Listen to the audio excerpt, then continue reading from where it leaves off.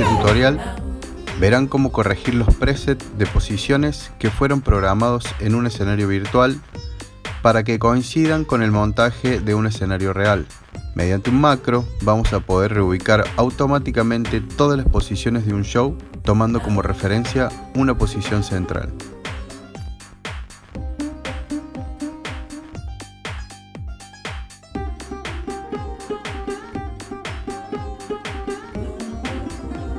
Todas las posiciones han sido programadas en la preproducción. Pero, cuando ejecuto mi show en el escenario real, las posiciones no coinciden.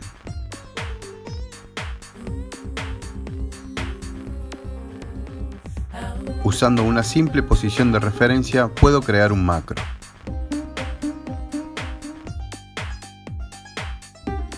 Este macro escribe valores dentro de las celdas de Offset Settings de los fixtures y todas las posiciones se vuelven exactamente como las había programado en un principio.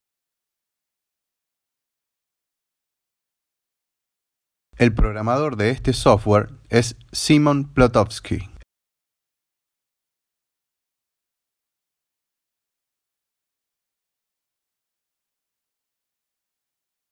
Durante la programación, los valores de offset dentro del patch están en cero.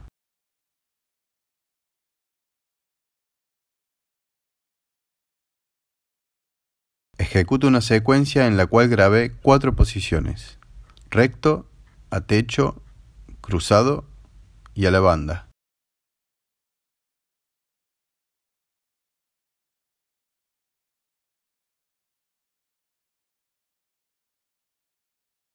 Algo importante a tener en cuenta. Para la corrección, tengo que programar una posición donde todos los fixtures estén concentrados en una posición.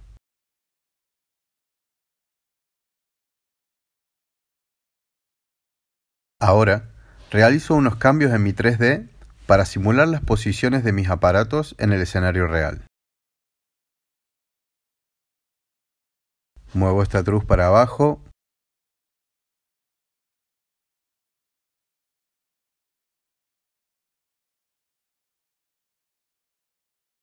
Separo estos aparatos.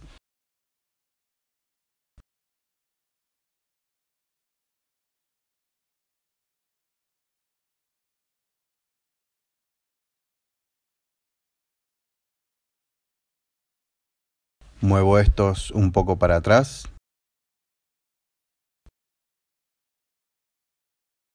Giro estos fixtures hacia la derecha o a la izquierda.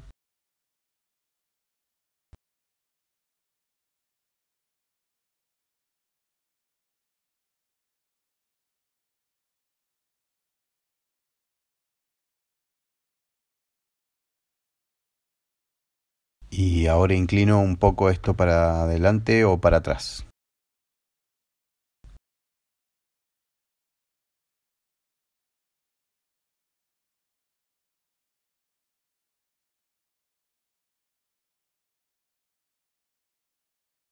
Luego de realizar las modificaciones, todo se ve como está ubicado en el escenario real.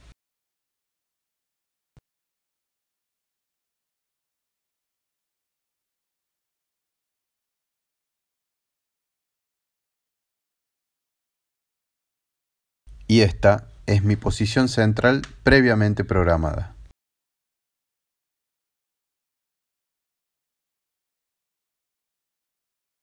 Para ajustar la posición de los fixtures, primero copio la posición central a una nueva ubicación. Es muy importante tener los mismos fixtures en ambos presets.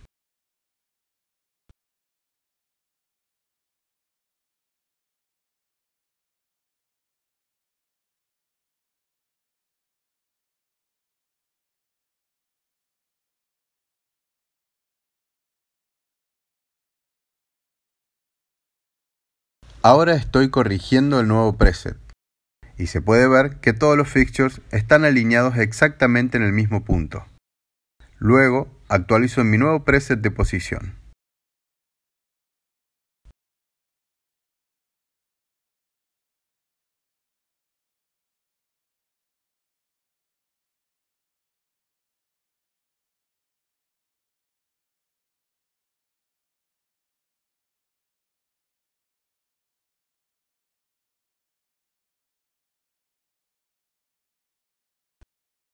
Ahora abro el software libre de Simon Plotowski y busco el macro con el nombre Export for Offsetter. Van a encontrar el link de este software y todos los macros necesarios al final de este tutorial.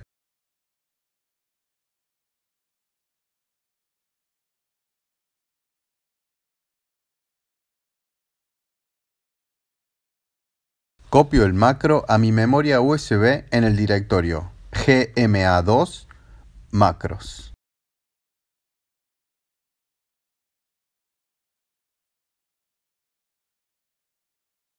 Luego importo el macro a mi show.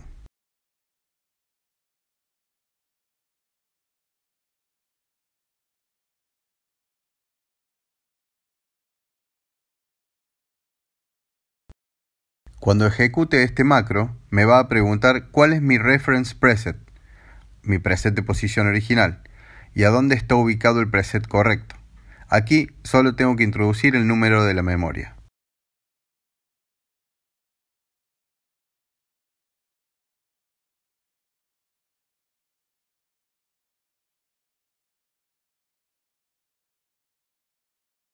Si ya hice esto, voy a encontrar dos nuevos archivos dentro del directorio import-export de mi memoria USB.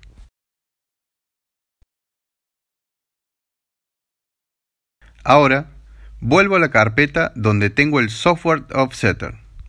Selecciono los archivos offsetter 2.5 win.exe y dialog.ui y los copio a la carpeta import-export.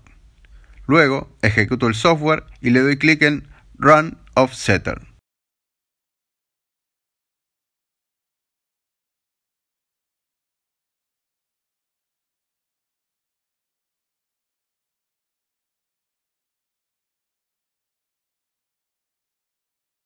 Ahora, el software ha generado un macro y también lo extendió a la carpeta GMA2 macros.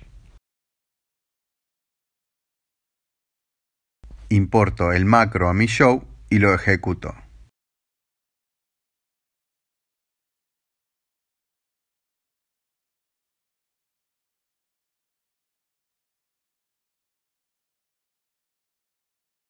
Ahora, cuando ejecuto mi secuencia con las cuatro posiciones, todas están como las programé en la preproducción. Para mostrar cuál es la función exacta del offsetter, tuve que hacer unas modificaciones en mi 3D simulando el montaje de un escenario real.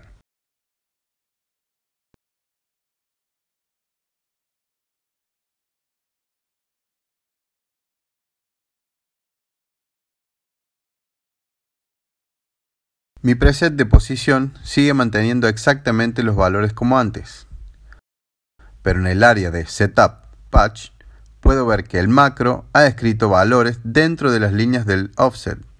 De esta manera puedo compensar pequeñas diferencias entre la simulación del 3D y la realidad.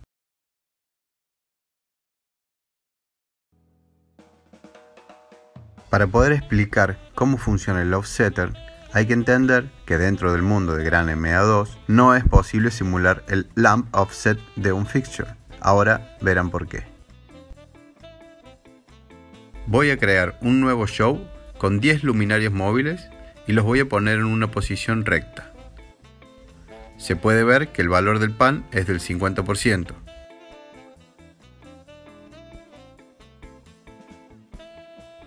En el área de Setup Patch introduzco 45 grados en la columna de Pan Offset.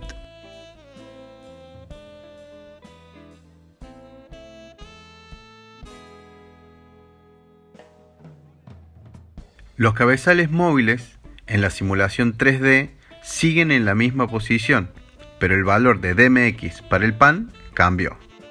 Eso es debido a que el área de offset fue creada para estos tipos de casos donde los fixtures están en diferentes ángulos con respecto al eje del escenario y es conveniente ajustarlos de esta manera.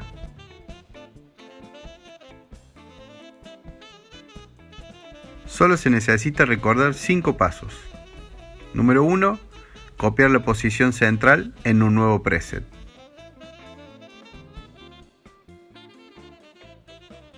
Número 2.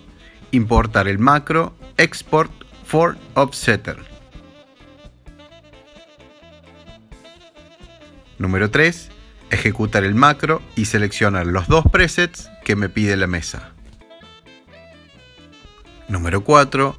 Copiar los archivos offsetter 2.5 win.exe y diálogo.ui dentro de la carpeta import-export y ejecutar el software. Número 5. Importar y ejecutar el nuevo macro que creamos llamado offsetter.xlm. El link para descargar el software se encuentra en la descripción debajo de este video en el canal de YouTube de fiets.de. El próximo tutorial trata sobre Q-Step Fader, para crear un fader que vaya por las diferentes cues de una secuencia. También sobre cómo encender y apagar lámparas una tras otra, y de cómo seleccionar diferentes colores directamente o tener acceso directo a las posiciones.